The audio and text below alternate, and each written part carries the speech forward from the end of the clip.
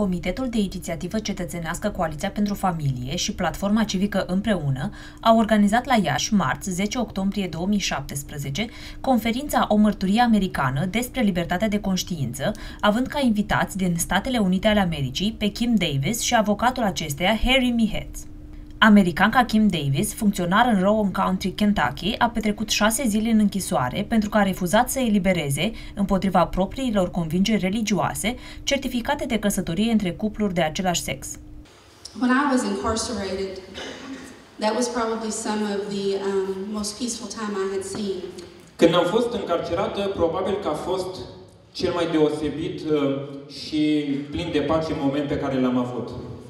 I had time to really um, read the Word of God and to um, focus on why I was there. Am avut timp să studiez, să citesc Cuvântul lui Dumnezeu și să mă concentrez să înțeleg de ce eram în acel loc.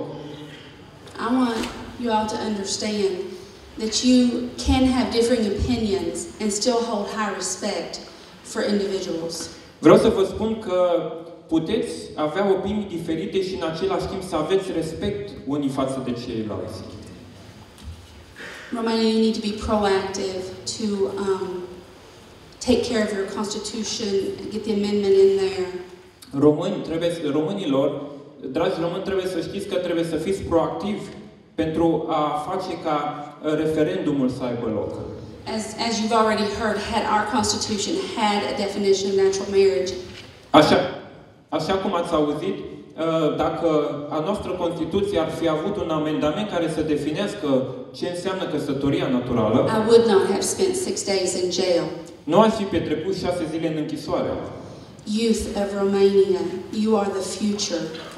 Tineri din România, trebuie să știți că voi sunteți viitorul. Do not let fear rob you of the blessings.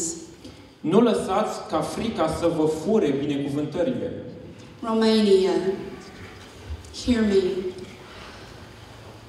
2 Timothy 1 and 7 says, God did not give you a spirit of fear, but of power and of love and of a sound mind.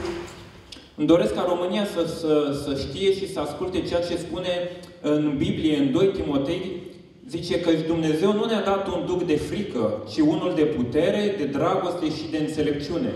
And that is the scripture that has kept me. I thank you for being polite. I thank you for being respectful.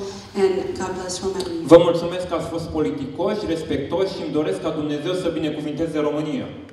Harry Mihetz, român stabilit în Statele Unite ale Americii, este vicepreședinte al Departamentului Afaceri Juridice și director al Consiliului Litigii din cadrul Liberty Council, organizație internațională non-profit de litigii, educație și politici, dedicată promovării libertății religioase, sanctității vieții și a familiei. Evenimentul s-a desfășurat la Casa de Cultura Studenților și face parte dintr-o serie de manifestări ce au loc în România în această perioadă, cu prilejul apropierii referendumului național de modificare a articolului 48 aliniatul 1 din Constituția României, care vizează definirea căsătoriei ca uniune dintre un bărbat și o femeie.